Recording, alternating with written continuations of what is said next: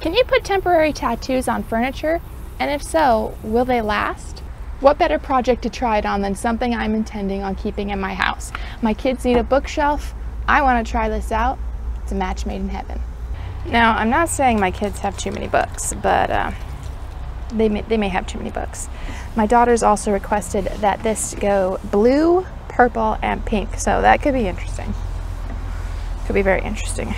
So I'm not exactly sure what my plan is. I just know that it includes blue, purple, and pink and um, some temporary tattoos. This piece is made out of MDF and so I decided instead of risking going through that top layer into that with my orbital sander, I did it all by hand. And then after I had it all ready and done, I left it outside. We went on a little excursion and had to race a thunderstorm back home to try to rescue the piece from the rain. It did get a little bit of rain on it, but fortunately not enough to warp that MDF. And as ordered, I have blue, purple, and pink. I have roughly measured where I want the shelves to go to accommodate the different sizes of books that my kids have and since I want those shelves to be a solid color and not have to mess with them, I'm going to be blending the paint into the next color right before that shelf is going to sit.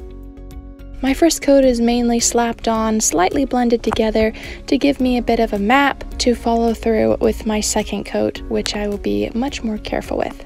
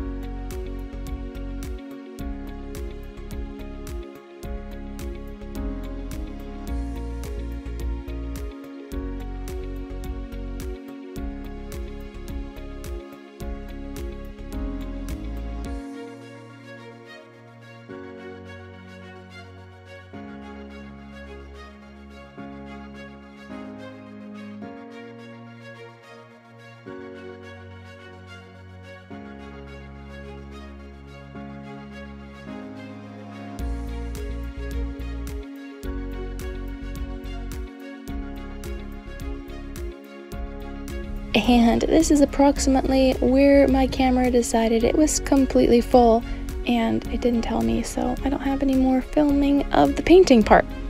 Sorry.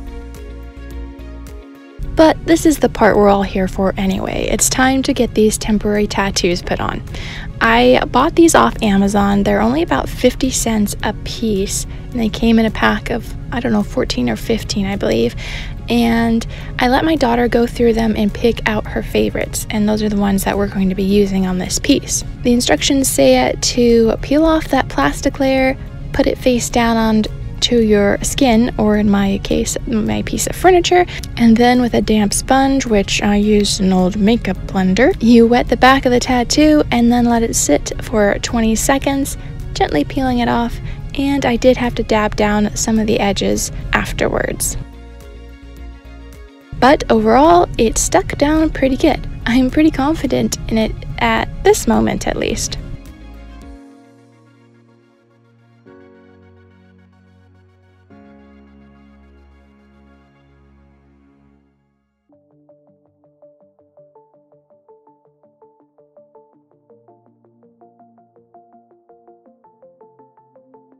You will probably notice that I have left one side of this bookshelf without any of the decals on it, and that's because this was designed specifically for a specific spot in my daughter's room, and that is going to be up against a wall anyway, so you're not going to be able to see it.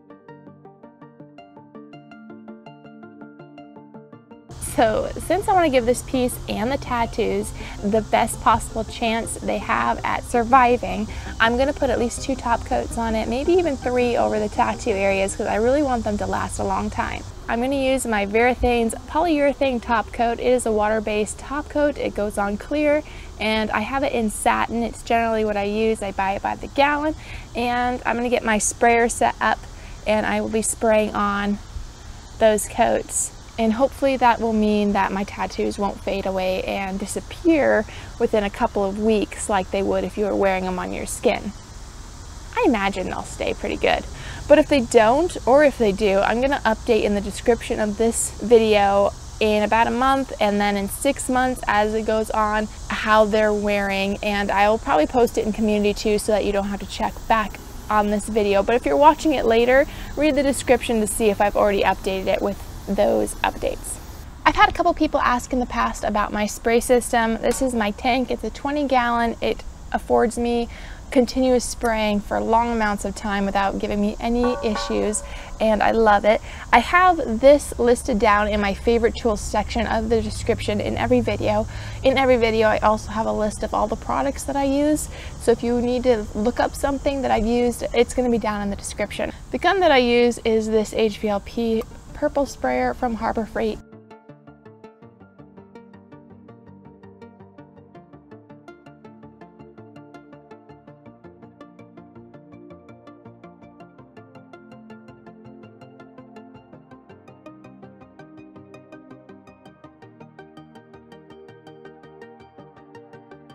So I'm pretty excited to see how these temporary tattoos wear over time because I think they would be really handy, maybe not on a big dresser or something like that, but on smaller projects like jewelry boxes or TV tables, trays, things like that. These could be really handy and much more affordable at only around 50 cents a piece. I think that's pretty good. If you would, give this video a like and make sure to leave me a comment down below on what you think. And if you've tried this before and already know the outcome, share your knowledge with me. Oh, and my five year old thinks it's absolutely perfect. So, mission accomplished. Thank you so much for joining me this week and watching with me. Until next time, I'm Sarah with our furniture flipping adventure. Goodbye for now.